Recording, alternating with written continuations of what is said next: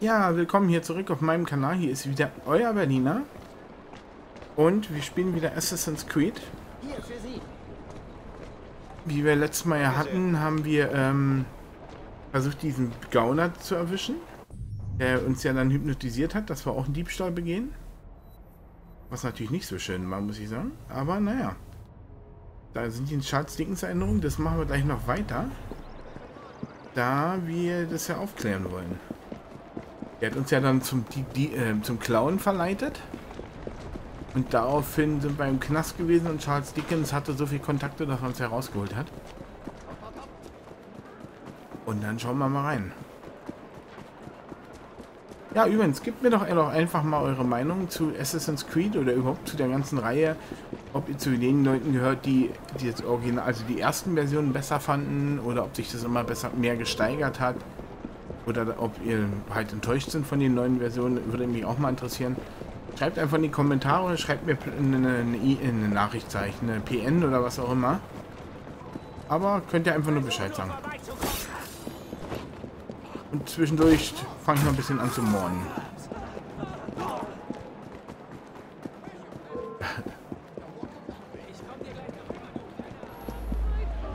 Was haben wir denn da?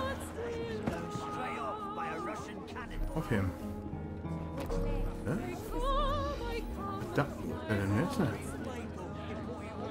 Ach so, erst empfohlenes Level 5.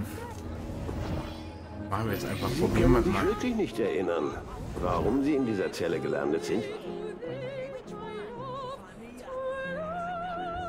Ich erinnere mich an dasselbe wie die anderen Opfer. Eine silberne Uhr, den Klang einer Glocke und eine Art Schatten.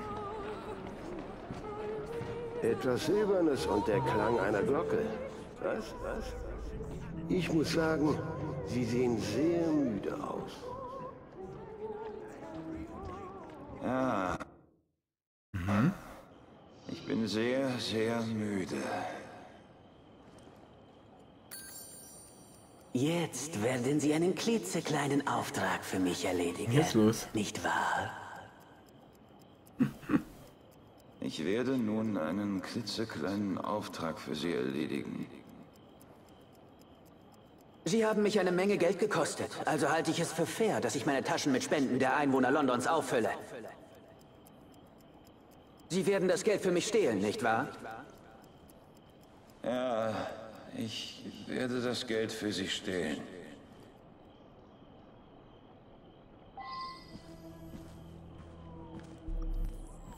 Welchen nicht stehlen will?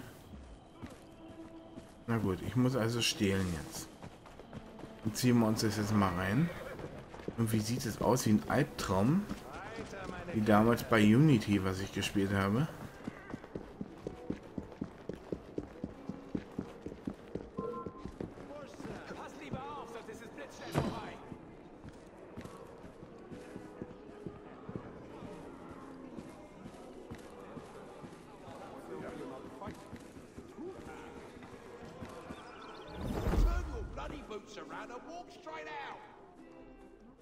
Du wagst es? Lass mich in Ruhe!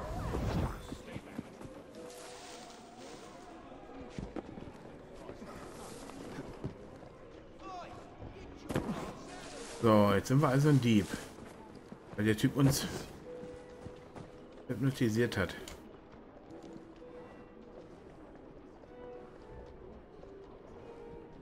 Wir klettern ja nicht. Da sind keine Probleme mit dem Klettern. Jetzt geht's. Denn wir? Die Lenkung auch hypnotisiert, was? Jetzt.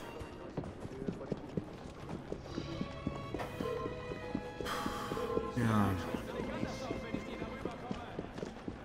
Und wenn wir mal die Aufträge annehmen von ihm hier.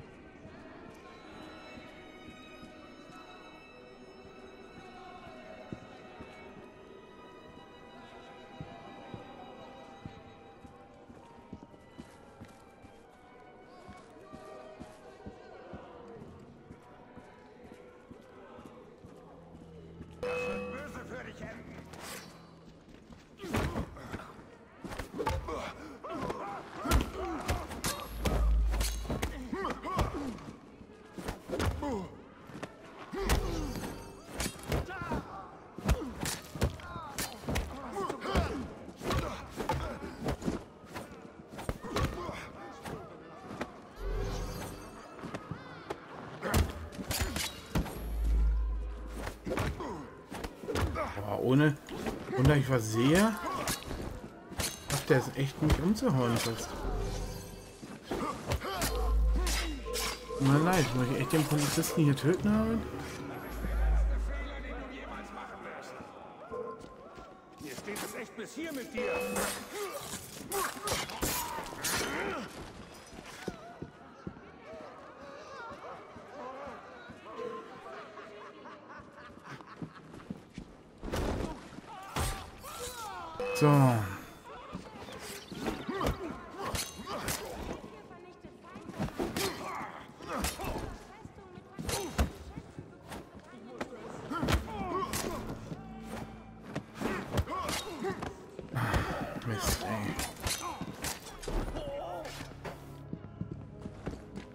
Jetzt werden wir mal stehen gehen.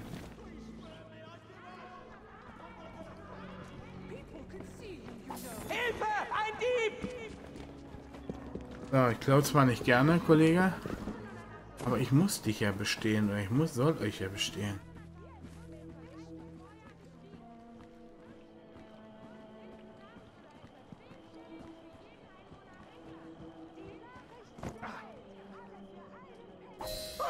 Nimm deine Hände weg, du Schlitzohr!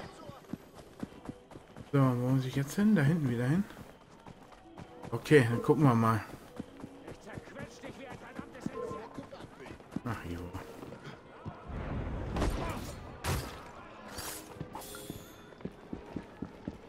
So, dann schauen wir doch mal. Oh. Was macht der denn hier? Jetzt macht das richtig. Da ist der werte Herr, Leute. Gut, sehr gut. Also, Kriminelle wie Sie sollten nicht frei herumlaufen. Sie werden sich der Polizei stellen, nicht wahr? Ich stelle mich der Polizei. Polizei. Oh, und wenn Sie das tun, werden Sie einen dümmlichen Tanz für Sie aufführen.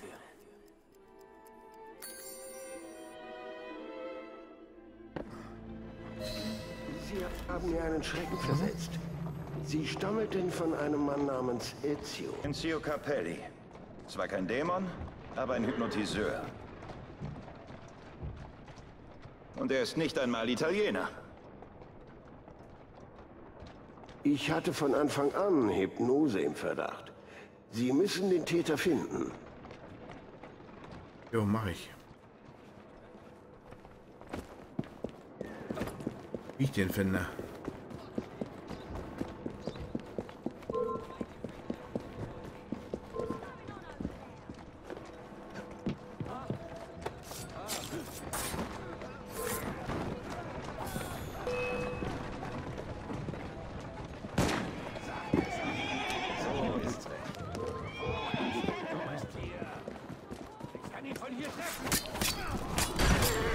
Zack.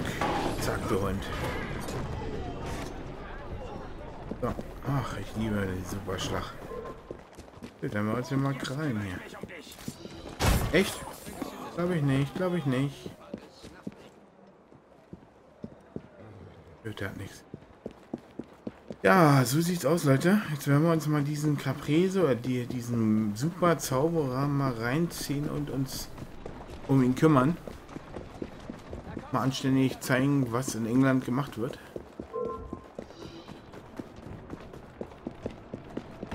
Entschuldigung, Lady. Ja, wie gesagt, aber zu der Zeit hätte ich nicht gerne gelebt, muss ich sagen. Allem ohne Internet, oh Gott. ja, wie gesagt, das ist mir... Das ist nicht meine Zeitepoche. Würde mir nicht gefallen. Ah, der gehört wohl zu den gleichen.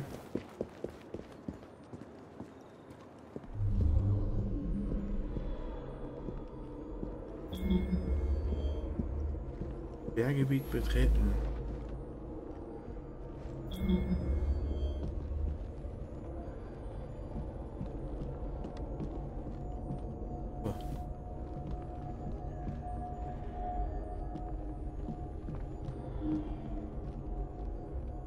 Sie werden Schmiere stehen, während ich dieses Haus ausräume, nicht wahr? Ja, ich werde Schmiere stehen.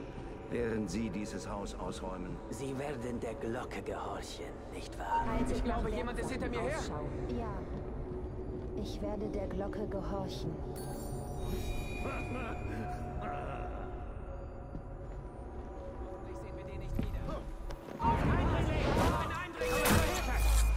Sie, be Sie befinden sich auf dem Holzweg, nicht wahr, mein Kind?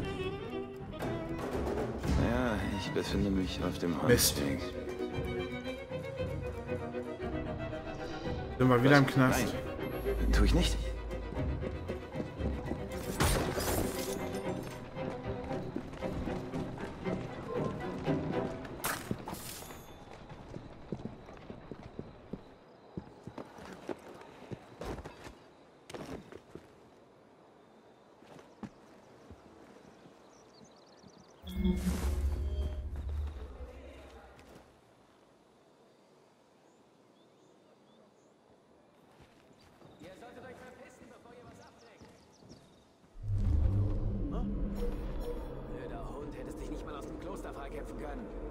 Pass auf, dass mich niemand stört. Hast du Schiss, dich zu zeigen? Solltest dich zeigen.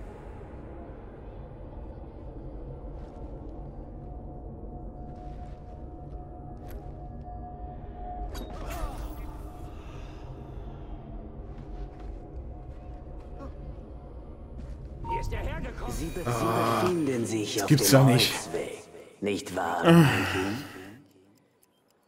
kotzen. Ja, ich befinde mich auf dem Holzweg. Also muss ich irgendwie... Tja, wie soll ich hinstellen? Was? Nein. Tu ich nicht?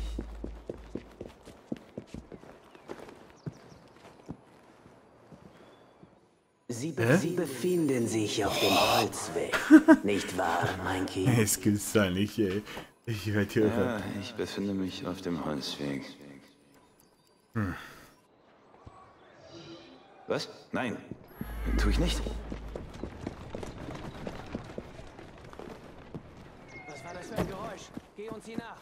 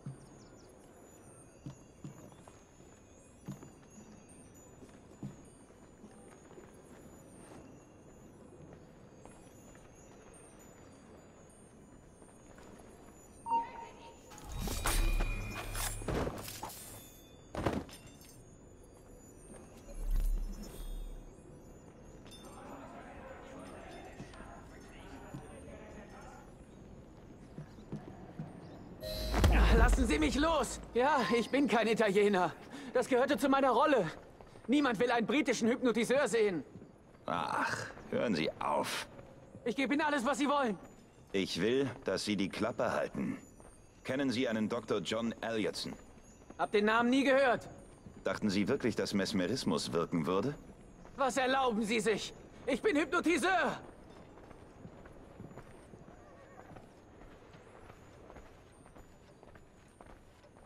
So, jetzt müssen wir aufpassen. Hier laufen unheimlich viele Bösewichte rum.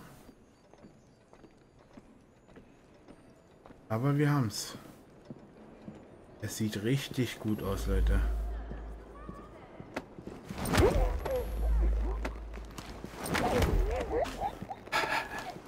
Spaß.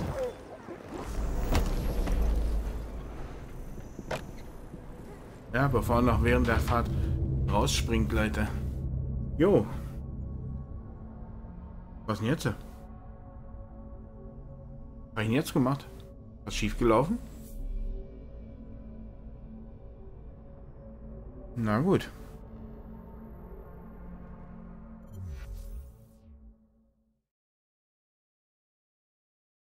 Wir dürfen niemanden in die Nähe von Mr. Capelli lassen. Oh, ich was verbockt. Weiß immer noch nicht, was ich falsch gemacht habe.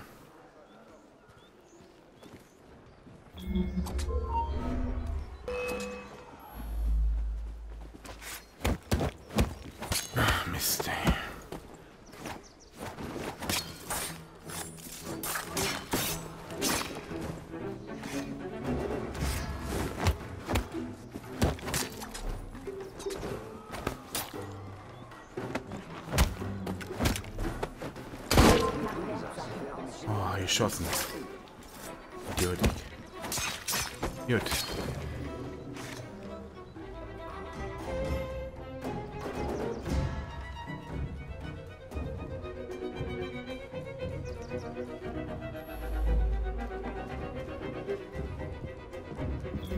Gut. Dann werden wir uns jetzt mal reinschneiden. Oh. Kommt wieder. Ist da sonst noch jemand im Haus? Verdammte Bastard ist entwischt.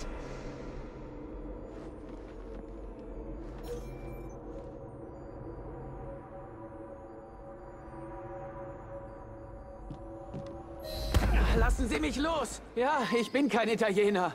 Das gehörte zu meiner Rolle. Niemand will einen britischen Hypnotiseur sehen. Ach, hören Sie auf. Ich gebe Ihnen alles, was Sie wollen. Ich will, dass Sie die Klappe halten. Kennen Sie einen Dr. John Elliotson? Hab den Namen nie gehört. Dachten Sie wirklich, dass Mesmerismus wirken würde? Was erlauben Sie sich? Ich bin Hypnotiseur. Aha. Gut, jetzt haben Das wir tut drin. gerade wirklich weh. Oh. Tut mir so leid. Dass dir das weh tut. Du bist aber trotzdem kleiner Gauner. Her. Eilig.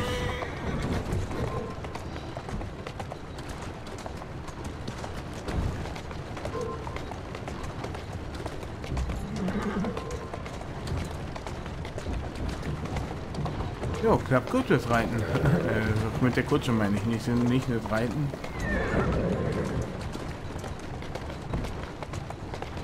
So Leute. Dann werden wir dem noch abliefern.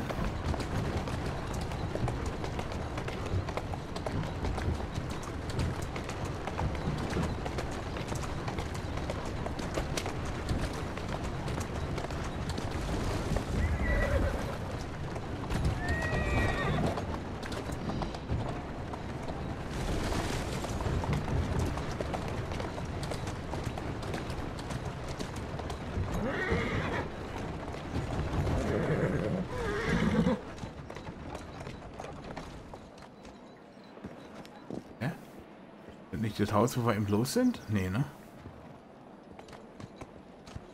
Oh nee, so wird Pferd. Klar ist das. Ist das wirklich notwendig? Hä? Ach so, doch nicht. Ich hab gedacht. Zeit, dass Sie gestehen und Ihre Opfer von ihrem Bann befreien. Geschafft. Und abgeliefert dem Gauner. Eine Erinnerung abgeschlossen. Gut, nice.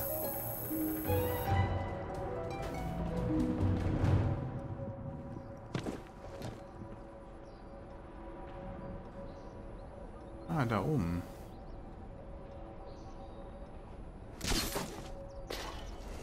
So, dann nehmen wir mal den Gang hier hoch. Ich weiß zwar nicht, was diese Splitter, wie gesagt, immer bringen.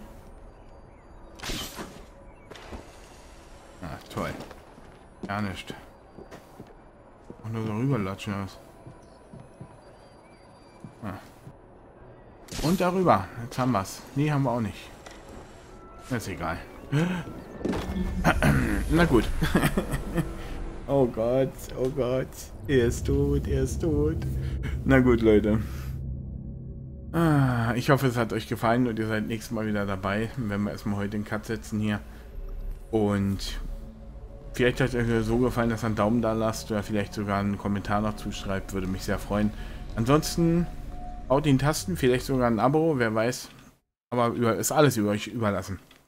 Also wie gesagt, ist alles euch überlassen. Würde mich jedenfalls freuen, ansonsten sehen wir uns mal. Oder sagen wir mal wir hören uns. So, den haben wir auch noch befreit. Das war's dann. Bis dann, Leute. Ciao, bitte. Euer Berliner.